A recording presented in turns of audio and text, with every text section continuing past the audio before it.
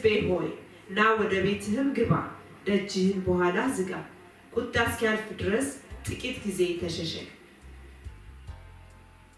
ይህ ጥቅስ ብዙ ጊዜ በተለያዩ social media ላይ አያለሁ። ሁላችሁም እየተቀባበልን ወይም እየተጋራችሁት ነው። በጣም ደስ ይላል። የሰው ልብ ከደነደነበት የሰው ልጅ ከማይሰማበት ወደሚሰማበት ጊዜ መድረሳችን የሚያሳይ ነው። ከሰው ኃይል ይልቅ የእግዚአብሔር ኃይል እንደሚበልጥ የተረዳነው ይመስለኛል።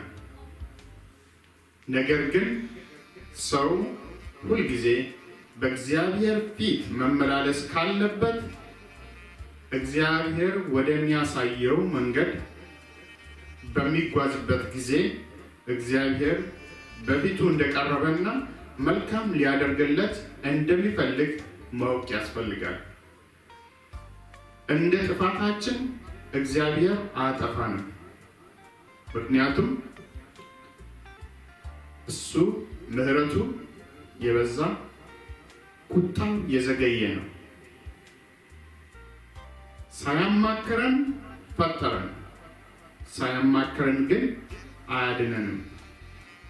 ጊዜ ሰጥቶናል እንድናስብ፣ እንድናሰላስል አሰላስለንም ወደፊቱ መቅረብ እንድንችል በአሁኑ ጊዜ አስፈላጊ ነገር ሁላችንም አንዱ ለሌላው የማሰብና አንዱ ለሌላው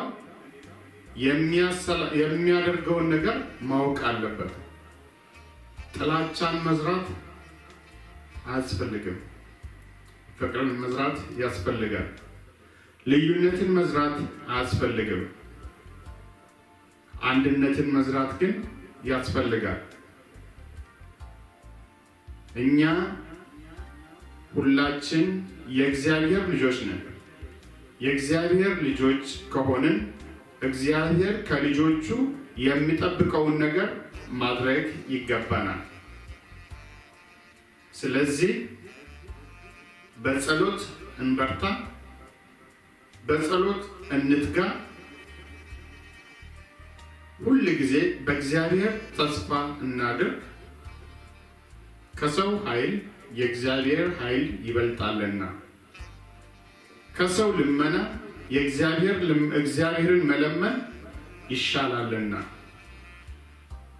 ምክንያቱም ሁላችሁም እንዳያችሁት ይህ አስጨናቂ ጊዜ ለአንድ ሰው ወይንም ለተወሰነ ሀገር ወይንም ለተወሰነ አካባቢ አይደለም፣ ለዓለም ሁሉ ነው። የተለያዩ ነገሮች ሊወራ ይችላል። ነገር ግን እግዚአብሔር ሰማይን ያለ ምሰሶ ያቆመው እሱ ስለሆነ እሱን ብንማፀን እሱም በጸሎት ብናስቸግር ሁሉን ነገር ያስተካክለዋል። ብዙ ቀን አያስፈልገውም። ብዙ ሰዓት አያስፈልገውም። ሰከንድ ይበቃዋል። በቃ ሲል ይበቃል። ስለዚህ ጸንተን በጸሎት እንቁም ነው የምለው። እግዚአብሔር ሁሉን ነገር ያከናውናል። ስለ ሁሉም ነገር ከልብ አመሰግናለሁ።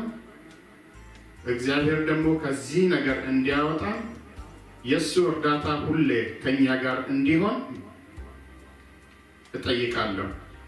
በጸሎት እንትጋ ነው የሚለው።